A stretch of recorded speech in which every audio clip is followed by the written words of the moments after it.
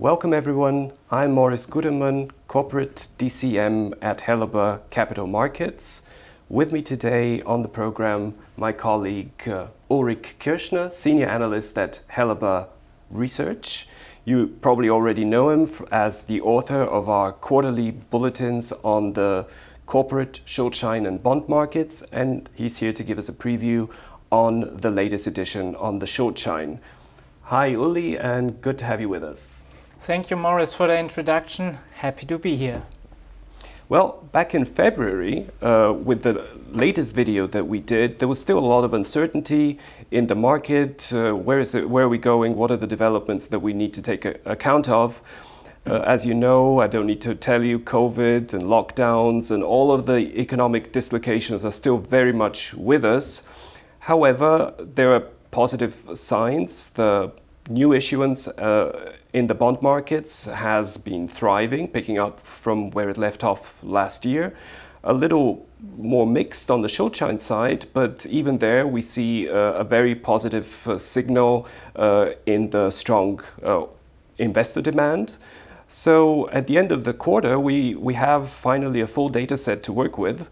In this uh, sense, uh, Uli, for starters, how has the market performed? What, what, what did you notice over the data for the first quarter? Yes, thank you, Morris, for your question. So, in the first quarter, I think it's obvious that uh, the issuers still have taken a quite cautious stance, um, including uh, some three issues where we don't know the final volumes yet. I think we will end up with 3.5 billion euros placed in the market in 18 transactions. That is obviously a little bit lower uh, than uh, in the last year, in the first quarter of last year. However, if you compare that with 2019 in the first three months, um, the issuance activity has been more or less on the same level. So for me, that is or that says that the Schuldschein market had a solid start, but certainly there is some room for improvement. Well, what do you think, in your view, uh, are the reasons for issuers uh, staying put or staying on the sidelines and not participating in full yet in the market? Well, I think two reason, uh, reasons more or less come to my mind. On the one hand, issuers have tried uh, to source quite a bit of funding during the corona crisis and have by now built up a decent liquidity cushion. So for some of them, the immediate refi refinancing need is quite low. And on the other hand, there is still some quite strong competition uh, from the corporate bond market. Why is this?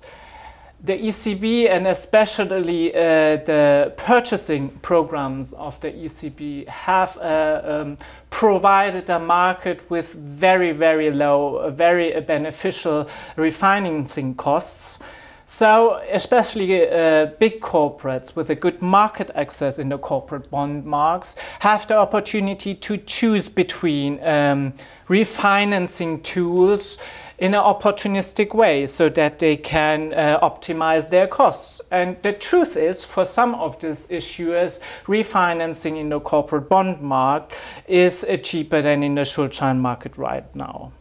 Against this backdrop, however, I think uh, that the results uh, in the Schuldschein market are even more solid. Uh, and it shows that for good credits, uh, for companies with solid balance sheet, the Schuldschein market is still a very reliable source for refinancing. What, what would you say are some other positive uh, signals for a recovery, or shall we hope for a resurgence in the Schuldschein market? Well, I think uh, one fact is, or that I find encouraging, is that um, among the 16 uh, transaction, uh, transactions that have been launched in the first quarter so far, six came from international issuers.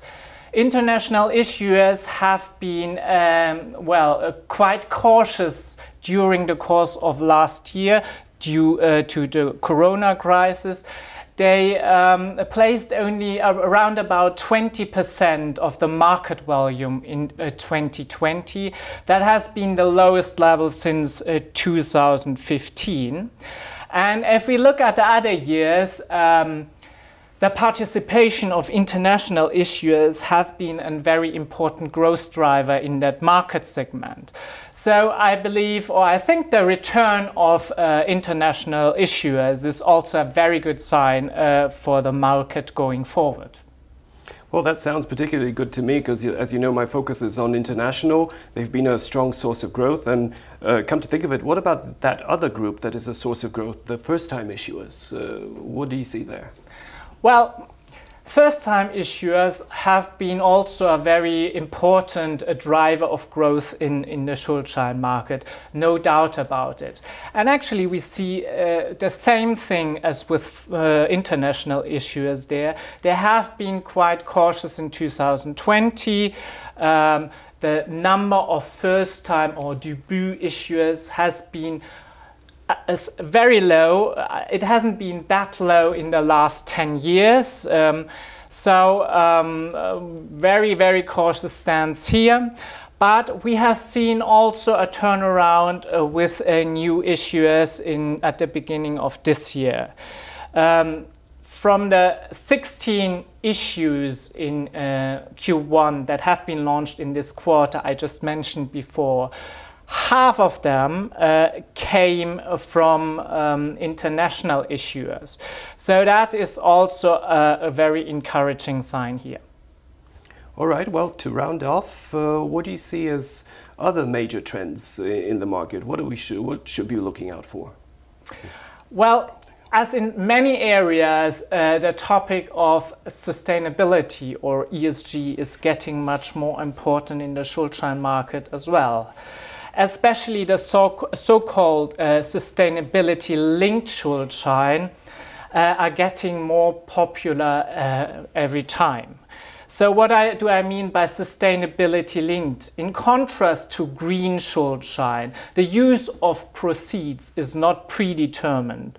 Rather, the margins on the Schuldschein are linked to a sustainability rating or to some uh, key performance indicators that have to be met. Um, the margin step up or step down in that case this is normally two to five basis points. And this type of in uh, um, refinancing is quite uh, um, popular among a broader range of uh, um, sectors because of the increased flexibilities for the use of proceeds. So um, that shows already in the first quarter of 2021. Uh, from the total placed volume, more than a third was placed with sustainability-linked Schuldschein. So it shows, uh, or this is a clear indication that when it comes to refinancing, um, this type of uh, instrument is getting more and more important for corporates. And we as Helaba Research are uh, very happy to support uh, our clients in all of this question and um, give uh, counsel with our sustainability, uh, sustainable finance advisory.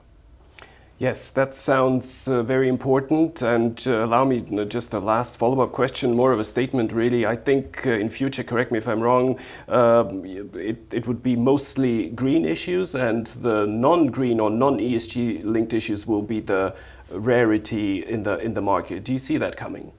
Well, absolutely. I think uh, that green or let's say rather ESG linked, that is really the future. All right, uh, this seems like a good uh, point to, to wrap it up for today.